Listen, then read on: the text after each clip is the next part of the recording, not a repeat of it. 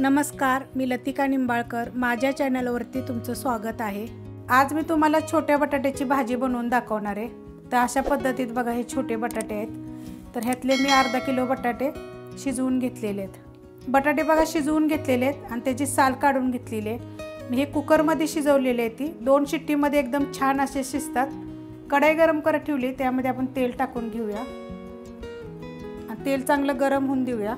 तेल गरम झालेलं आहे. त्याच्यामध्ये जिरे मोहरी एक चमचा छोटा कढीपत्ता दोन चिमूट हिंग आणि एकदम बारीक बघा असा चिरलेला आहे कांदा. एक मोठ्या आकाराचा कांदा एकदम बारीक चिरून घ्यायचा. आता हा आपण कांदा हलकासा भाजून घेऊया. कांदा बघा अशा पद्धतीत भाजून घ्यायचा. आता ह्याच्यामध्ये थोडीशी हळद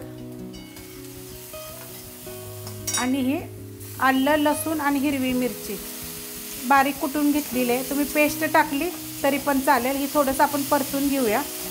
चांगलं परतून घेतलेलं आहे. ह्याच्या ह्याच्यामध्ये बघा एक तंबाटं बारीक कापून केलं घेतलेलं आहे. मोठ्या आकाराचं तंबाट आहे.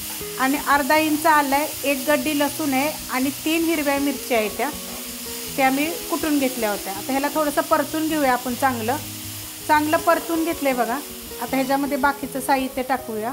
एक छोटा चमचा बघा गरम मसाला पावडर. ह्याच्या पण रेसिपी टाकलेली आहे. आणि दोन चमचे छोटे कोल्हापुरी मसाला आपला. कोणता पण तुम्ही मसाला टाकला तरी चालेल.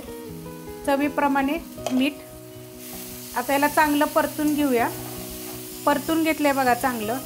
आता आपण मीठ टाकल्यामुळे ह्याला थोडंसं पाणी सुटतं आणि हे सगळं मी फास्ट गॅसवर केलं होतं. मिडियम गॅस करते आणि एक दोन मिनटासाठी आपण झाकण ठेवूया. दोन मिनटं बघा झाकण ठेवलं होतं. तर बघा एवढं पाणी सुटलेलं आहे. टमाटर पण आपलं मी बारीक कापल्यामुळं लगेच सॉफ्ट पण झालेलं आहे. छान असं झालेलं आहे. तर ह्याच्यामध्ये आपण कोथिंबीर टाकून घेऊया. भरपूर कोथिंबीर आणि देटा सकाट कवळी होती ना मस्त लागते. आता ह्याच्यामध्ये हे बटाटे आपण शिजवलेले बघा हे टाकून घेऊया. आणि परतून घेऊया. मिक्स केलेत बघा चांगलं परतून घेतलेलं आहे. त्यात एक मिनिट दोन मिनिट चांगलं परतून घ्यायचं. आणि एकदम बारीक गॅस करायचा. आणि बारीक गॅसवर एक दोन ते तीन मिनटासाठी झाकण लावून ठेवायचं. दोन ते तीन मिनटं झालेत बघा. बटाटा मस्त असा झालेला एकदम छान होतं. आणि बारीक ह्याला काय करायचं माहिती आहे का? थोडंसं टोचून घेतलं तरी चालेल. त्याच्यामध्ये आतपर्यंत चांगलं मुरतं आणि एकदम चवीला मस्त असे लागतात.